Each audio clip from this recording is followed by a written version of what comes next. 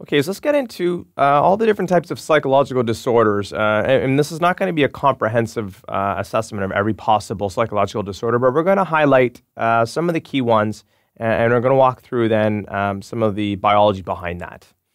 So, how common are psychological disorders? And, and we're going to, as we get going, you'll see what's classified as a psychological disorder. But you don't, you're not going to need to memorize this, but I wanted to highlight the fact that across the world, um, psychological disorders are quite prevalent.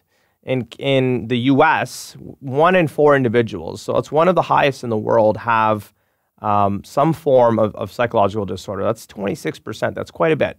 Um, other countries like Canada and, and Mexico, uh, France, they're not, they're not far behind. So it's, it's quite a serious issue, uh, and it's, it's uh, very, very prevalent globally speaking. So what are we defining as a psychological disorder? This is a set of behavioral and or psychological symptoms that are atypical. So by that we mean that they're different than the cultural or societal norms uh, that are around us. So atypical, like the name implies, is things that are not typical. And so this is where it gets a little bit gray in that sometimes how do you define, you know, normal? What is typical?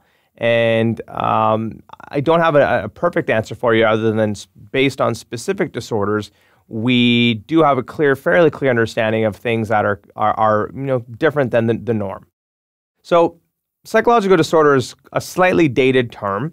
And so now we use um, terms like mental illness or mental health. Um, we also have the term of uh, psychopath- psychopathology. These are more current terms that are a little bit more um, culturally sensitive, and they're a little bit more indicative of what's actually happening.